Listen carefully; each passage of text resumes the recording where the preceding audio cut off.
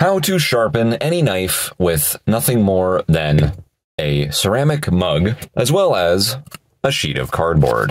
In this video, I'm going to demonstrate sharpening a cutting edge with the ceramic and then stropping it with the cardboard. When we sharpen a knife, we're referring to taking steel off of the cutting edge to thin it out, thus making it sharp again. Stropping is refining all of the little micro serrations that cutting edges are comprised of to further the edge and make it perform even sharper. So let's see how this cutting edge currently is doing.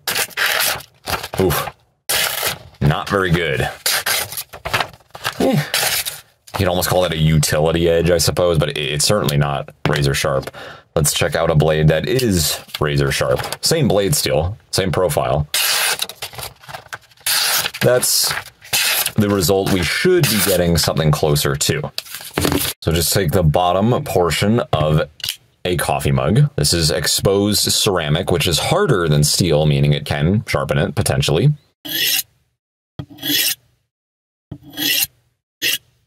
Other side, make sure it's even, so both cutting edges are evenly sharpened.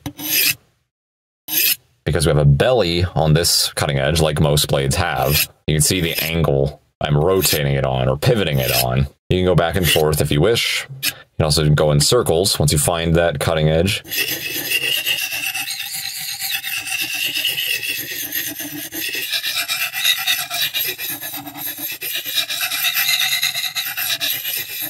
One way you can tell this is working, see how much darker this side of the rim of the mug is compared to the rest of it? That's the steel getting sharpened away. Let's check out how we are right now. Oh yeah. Already it's a lot better.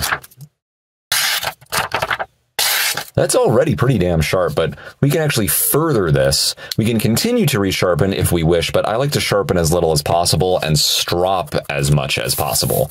The reason for this is, again, every time you sharpen a blade, it's, it's almost nothing, but technically you are removing steel off of the blade. Stropping, however, we're not actually removing anything. We're simply refining and straightening out the edge. Any exposed side of cardboard like this on the side, and instead of cutting toward it as if we were sharpening it, we're actually going to go backwards. You don't even have to press that hard, just, you know, moderate amount of strength. And just make sure it's even on both sides.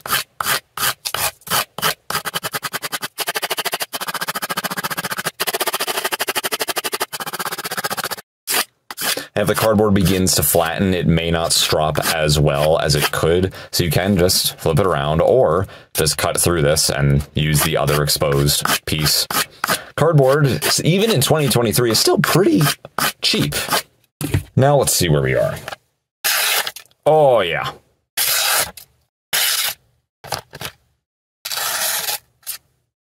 Nice.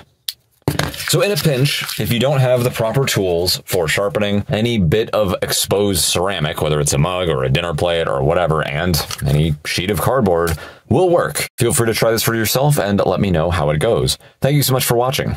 Feel free to subscribe, hit that little bell notification if you do not want to miss weekly knife and gun videos, and feel free to support me on Patreon, link in the description. Good luck. Thanks so much for watching.